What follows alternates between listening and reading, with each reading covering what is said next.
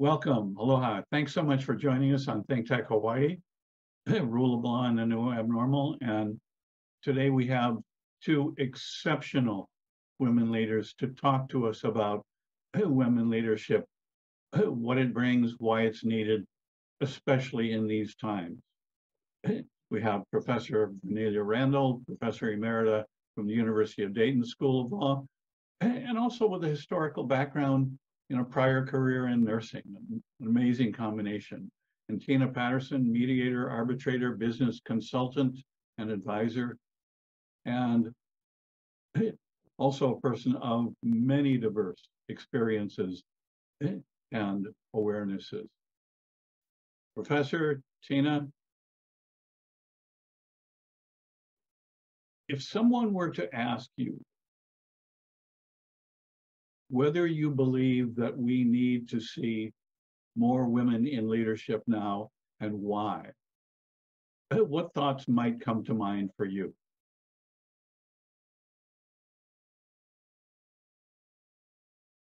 Well, I, I, I would have a, a conflicted answer, as you can imagine.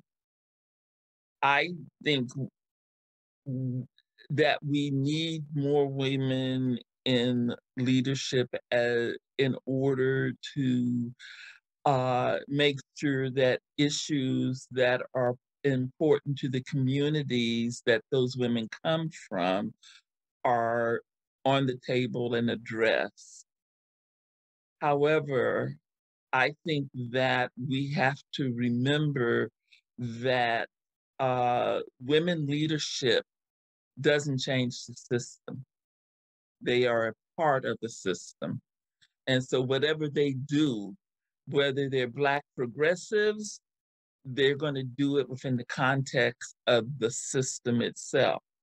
And if, like me, you believe that the system is the fundamental problem, then advocating for more leadership without constantly reminding people that they can't change the system. They can just uh, kind of ease the pain. The, the uh, women in in systemic leadership can ease the pain. So that would be my response. Hey, fantastic, and it raises the question, Tina. Do you have any sense as to whether women may be better in dealing with that tension, that conflict, that balance than the male leaders, at least those we've had? I do think that women leaders, one, their perspective, because as what Professor Randall indicated, many women are juggling multiple demands, competing demands, and sometimes those com- competing demands can be both um, hit on both a personal and a professional level. And as we see oftentimes in the media, there's no distinction made between the two. So I, I do think that women are both inherently, in many ways, able to, to, to both juggle, but also know when this is this is really personal. Yes, it's coming to the forefront in my professional life, but I'm making the choice to either not let that be my focus. I think there's also this idea of emotional intelligence as well as intellectual intelligence I'm not saying that men aren't both, but we see with women, there's also, this seems to be for many women, not all women, it's a, a part of the, who they are in terms of in, engaging and negotiating and interacting with others and trying to be problem solvers instead of I'm going to take this hard tactic line and and not not consider the other. Now, having said that, and we see this in studies, women are oftentimes less inclined to take that that lead role. And some of it is, as Professor Randall mentioned, it's systemic. You've been told for years, you know, you need to be quiet. Um, you need to, you know, you can be at the table, but you really shouldn't say anything. And if somebody else takes credit, you know, just chin up, take one for the team. So while it, yes, I think there there are aspects that are better, there's still the systemic, the unconscious bias, the microaggressions, and sometimes it's not micro it's just out and out presentation and and how someone is presented Um, one of the things you asked about was preparing for today's session. I thought about Fran Drescher and what she's going through as the president of SAG. Um, I read an article written by the Washington Post. I have to say it was highly disappointing. It focused on the fact that she had played um, in a sitcom over two decades ago as a nanny. That is not who she is today. And that story missed the fact that she brought that story to that station or to that channel and said, you know, here's a story. They bought into it, knowing that she was going to highlight these aspects. But the article tended to focus on that versus here's an impact to our economy if these people are on strike and how many other organizations will recognize the striking group and and not engage in their work because they're now aligned with um, an alliance with them. No, and that's a great insight because as you indicate, she brought them an opportunity to understand a really, really important imbalance, tension, conflict between workers and the people who hold power over workers, over their lives, and over the lives of lots of people, not just actors, but hairdressers, custodians, landscapers, everybody involved in the industry. It's a huge number and range and diversity of people. And instead of that, they scaled back and they focused on one small aspect, a stereotypical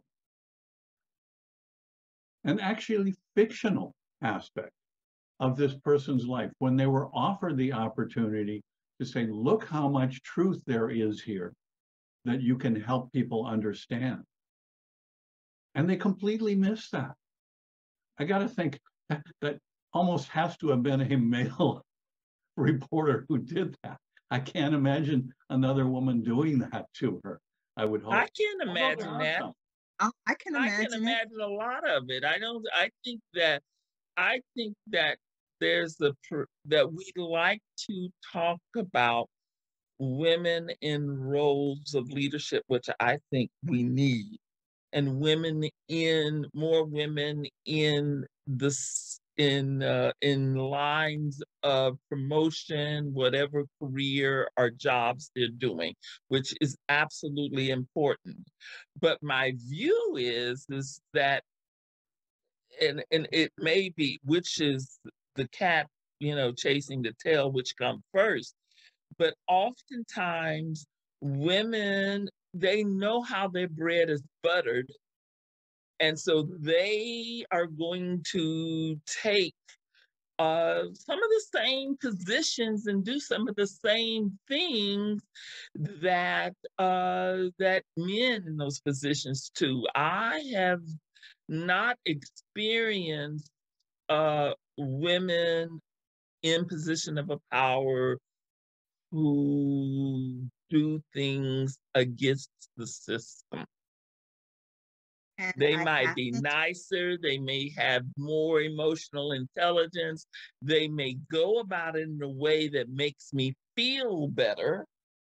In fact, I have a, a, student, uh, visit a student that, that I hadn't seen for a long time, was in Orlando and called me up to visit, and uh, and we were sort of talking about this because uh, she had requests under two different deans one was a man dean and one was a woman dean. And she was angry at the man dean because of the way he had uh, done something. But then when i but when i pointed out that the woman did the same, same thing that she she didn't get a different result from the woman. She just got a woman who treated her nice. She got a person who treated her nicer uh, and made her feel heard. And I'm not saying that's important, not important. I'm just saying that if you're looking for results and that uh, women don't often give different results in situations like this than men. You know, Jack, and you make a very good you. point. Yeah, the go ahead. Washington Post, I'm sorry, I hate to disappoint you, Chuck, but the Washington Post article that I'm referring to is written by a woman. Ouch. Sorry. So maybe for every Rachel Maddow, there's a Maria Bartiromo, or for every Nancy Pelosi, there's a Marjorie Taylor Greene or a Lauren Boebert. That's a scary thought, yeah. But then when even when you look at Rachel Maddow, Rachel Maddow has consistently worked within the STEM system. If you look at how she tailored her, she doesn't go far to the left. She doesn't. She's real. I loved Rachel Maddow when she first got on, and I was really excited. But then I began to see the pattern of how she's left but she's not far left.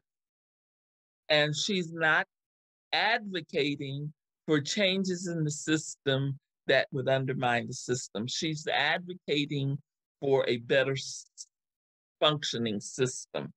And and and and and I'm not saying that's not needed. And I think that's what we can expect from women.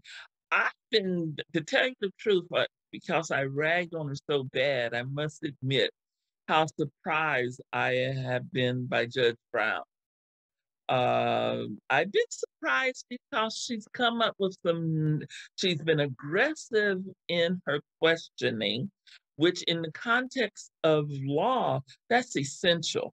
Uh, silence, if you, especially if you don't have, you can change how not the votes, but how people think about things by the questions you ask.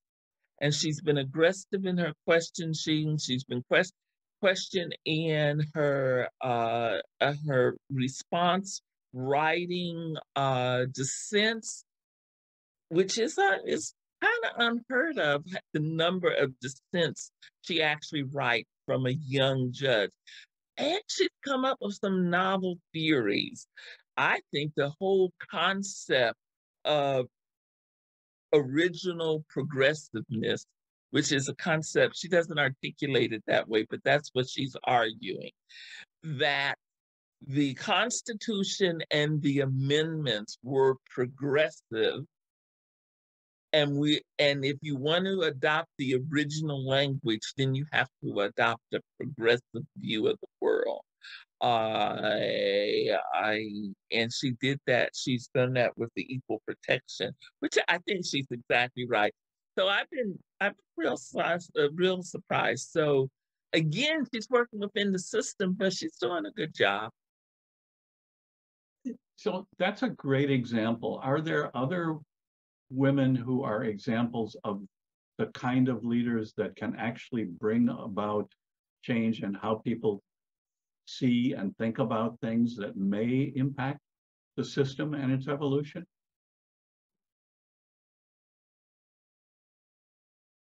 I saw a good example last week. Um, thinking about the NATO public forum, I was very much impressed with the Prime Minister Estonia. Small nation, but she is an active player in what is happening in NATO and what is happening in that region. She, um, she I know she didn't do it single-handedly. She has others working with her, but to make Estonia a, a, a place where this tac the tactical games and tactical work could be done and for her to hold this conversation was one both impressive but also shifted the conversation from just having the military representatives present and having really this male dominated conversation she's at the table she knows what she's talking about but she also recognizes she's not a force of one um, on a slightly different note another person who uh, got my attention and i would think of in terms of leadership um, Christine, and I'm gonna, I may mispronounce her last name, but um, it's Mwanda. She's an anchor and correspondent with um, Deutsche Welle. She is African descent, but she was the moderator. And in this verified space, we very rarely see, I'm gonna say African and Black women. The fact that she's probably under the age of 45 also was a significant factor. She held her own. She kept the attention of the panel, but she also kept the attention of the audience. And because of her age, she was able to balance the online participation with the, those who are in the room. I see her as a rising star. Um, I don't know what form I'll see her in again, but I was very much impressed because it's easy enough in those spaces for her to either be overlooked or treated in such a way that she's considered not to bring value to the table. And she definitely hit hit the nail on the head in both regards.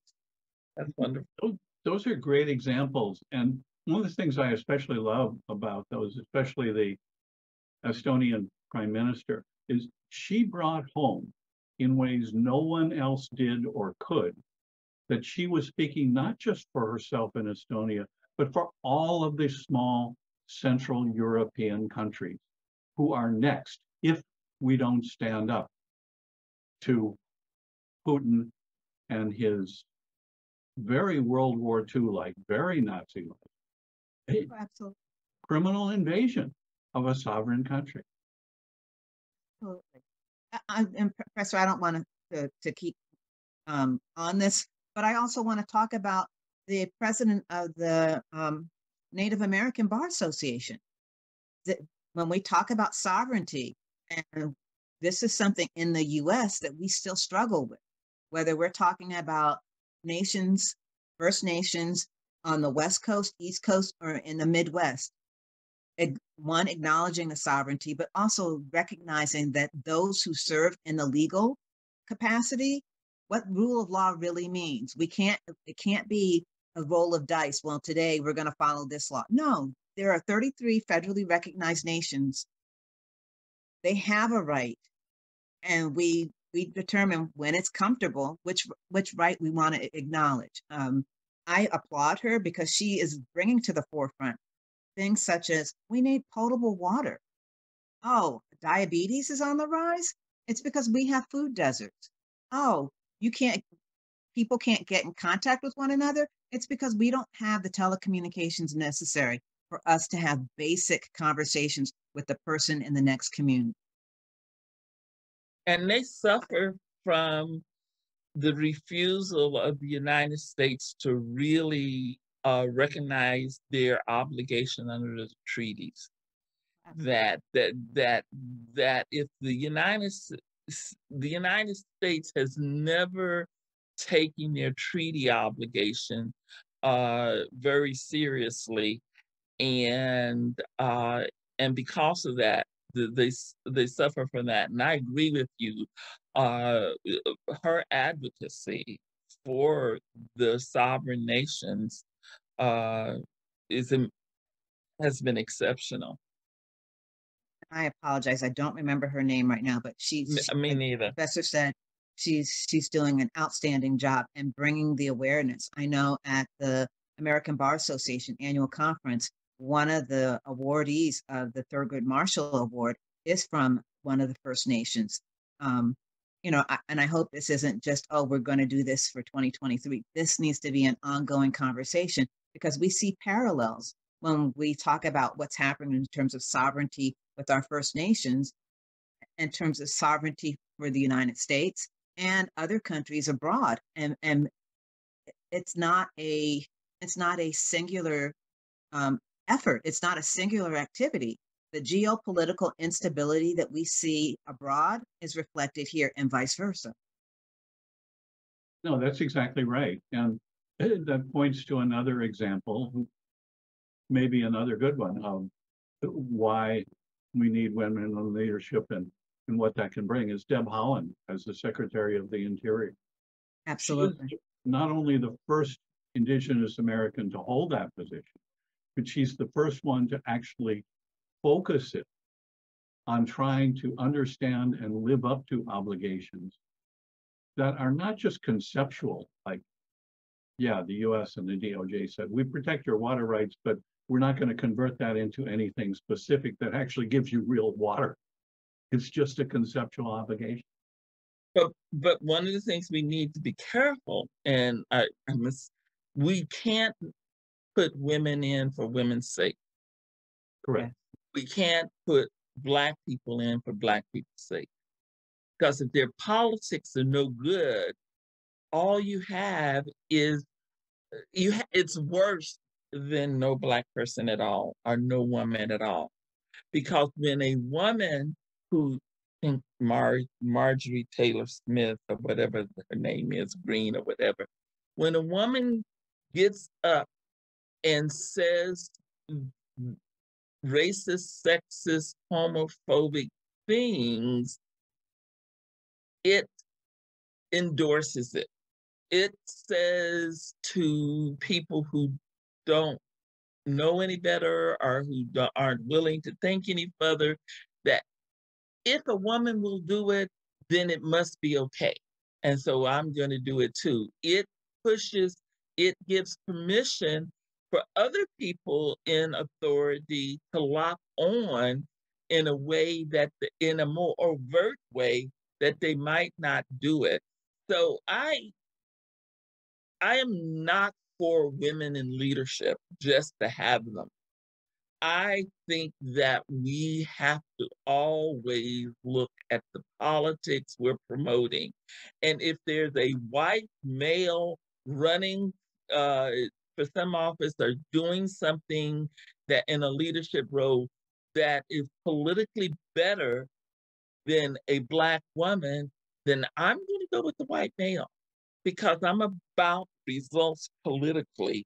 And uh, and and and we have to do that uh i think well and i Virtue think that highlights exactly what tina was alluding to which is if you look at the resources that are available in uh, black women leadership in indigenous women leadership there are more than enough truly outstanding individuals and resources politically correct, outstanding. I concur with that. How do we open those doors?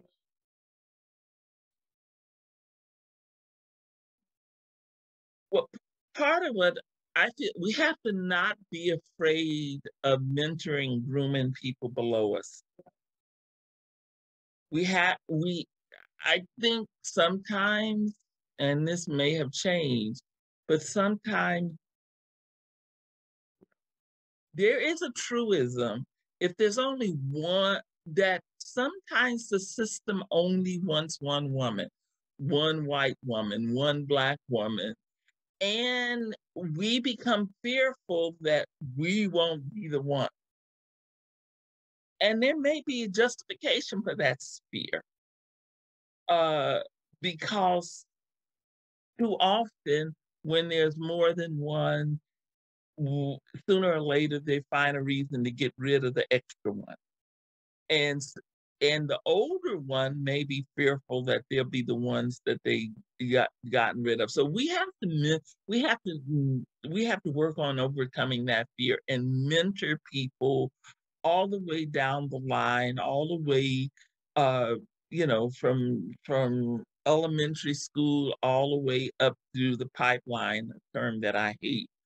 But uh, but we have to mentor people and get make sure that we get people um, hired, even though there's justified fear of what those people may or may not do, because you know people lie when they're interviewing for jobs. So you never know for sure whether you are meant get you getting what you think you're getting when you get when you but you gotta you gotta take that risk. You've got to uh, do the best you can in promoting people up through the pipeline and but promoting people up through the pipeline uh, like this is uh, my kids and I are going to read my 13 year olds and I are going to read um, Howard Zinn's people history. They're going to be taking history in the eighth grade, uh, uh, uh, Florida history, and I wanted to be sure that they didn't walk away with an idea that it was accurate history. Uh, and so we've got to mentor the young people. We got to educate our own children, our own daughters. We have to make sure that they have the political history and skills necessary to get promoted up so that when they get into the pipeline, they can become a force for good instead of a force for maintaining the system. And that reminds us that for this to happen, the mentoring, the cultivation, the development of these truly well-qualified and appropriately gifted leaders. We need the groups, we need the coalitions, we need the teams. Where are those now that you see, Tina, in our last couple of minutes here?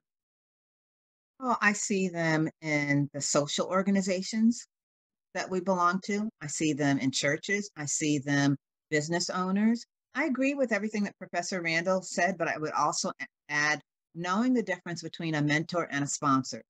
To, to sometimes get into these spaces, we need sponsors. Absolutely. And for younger people, understanding that a sponsor is not a mentor and a mentor is not a sponsor. A sponsor is going to use their social capital.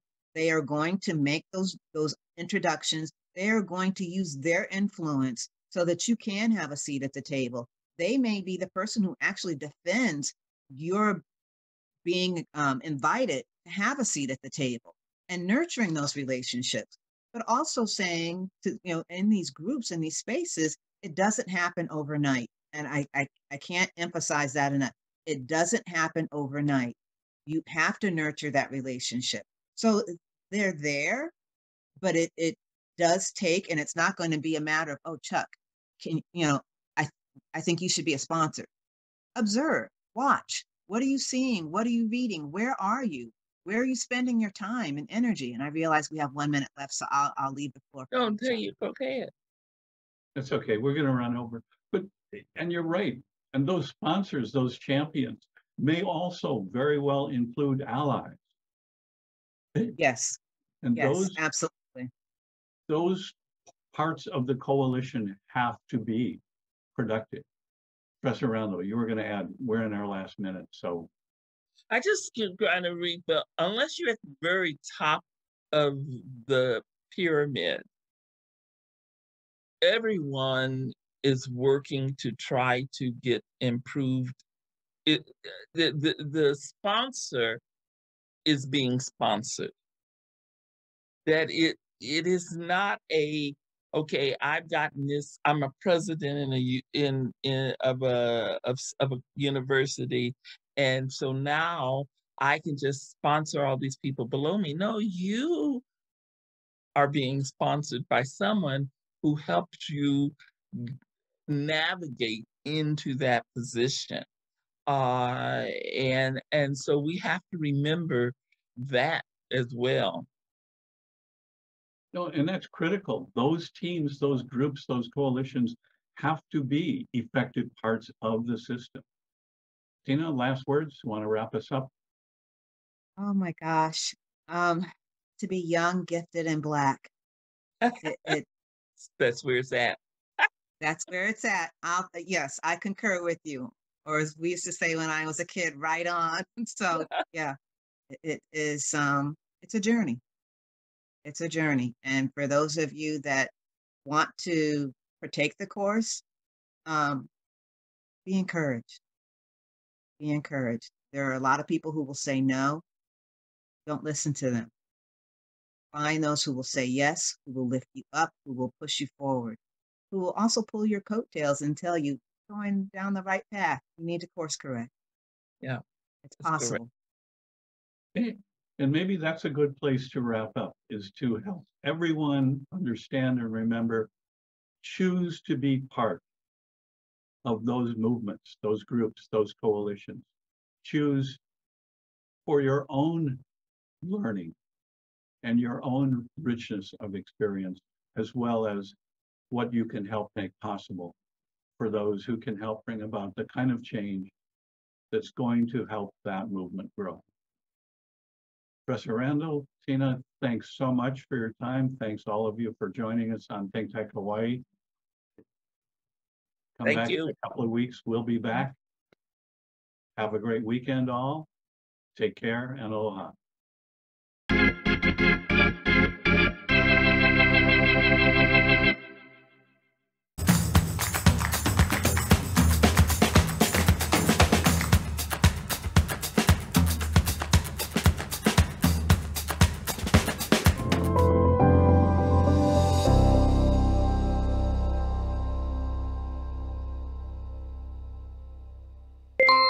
Thank you so much for watching Think Tech Hawaii. If you like what we do, please click the like and subscribe button on YouTube. You can also follow us on Facebook, Instagram, and LinkedIn. Check out our website, thinktechhawaii.com. Mahalo.